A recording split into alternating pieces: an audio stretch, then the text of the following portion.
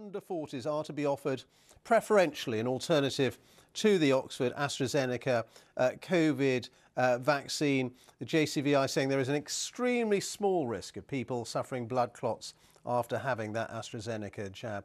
Uh, but the risk of serious illness with COVID also drops for younger people as infection rates fall across the country. You're watching BBC News. Back now to elections 2021. It is midday uh, here on BBC News, and welcome if you're just joining us here at the uh, Election Centre. Um, we are having a joint centre uh, between London and Edinburgh today. Last year's local elections, which we're covering, uh, were cancelled uh, because of the COVID pandemic. So this year, uh, we have a bumper crop of results, new parliaments being elected in Scotland and Wales, thousands of council seats being contested across England. And of course, uh, just as we did be discussing the Hartlepool by-election, which ended with a big victory for the Conservatives. They won by nearly 7,000 votes. A big loss for Labour and for the leader, Sir Keir Starmer, in a seat the party held since the 1960s. But the result in Scotland could be more problematic for Boris Johnson. If the Scottish National Party wins an overall majority here at Holyrood, it will push hard for a second referendum on independence.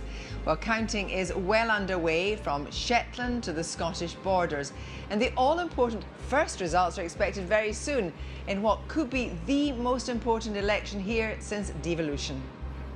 We are also keeping an eagle eye on things in Wales uh, and on elections to the Welsh Parliament, the Senedd, where Labour's long grip on power over 20 years is being challenged by the Conservatives and by Plaid Cymru. And uh, we're still watching, of course, the uh, English Council elections, uh, where Reeta and uh, the touchscreen are showing us exactly what's going on.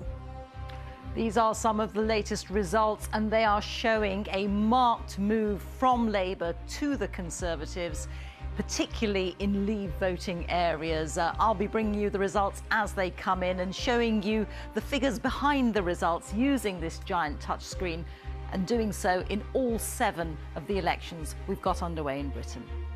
Yes, Reeta, thanks. We've got a very big team of correspondents at all the key contests and they'll be updating us. Uh, Vicky Young will be with us, uh, our deputy political editor, with latest reaction from Westminster. And we wouldn't be complete, clearly, without Sir John Curtice, uh, who's uh, going through all the data for us and will give us his expert analysis of uh, what's going on and indeed what to look out for. So, it's all to play for. The campaigns were bitterly fought and there is a huge amount at stake. So stay with us for all the excitement and drama of this year's election results on the BBC.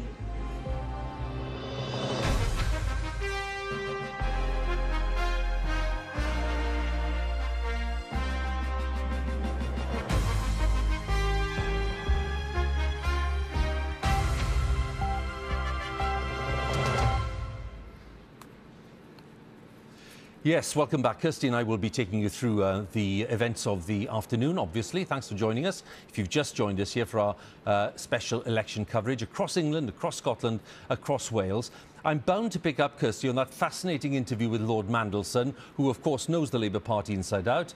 He knows politics and strategy inside out. Uh, and, of course, he has been an MP for Hartlepool, so he knows that area inside out he was suggesting very plainly that uh, there are still major lessons to be learned for Labour in areas like the northeast of England.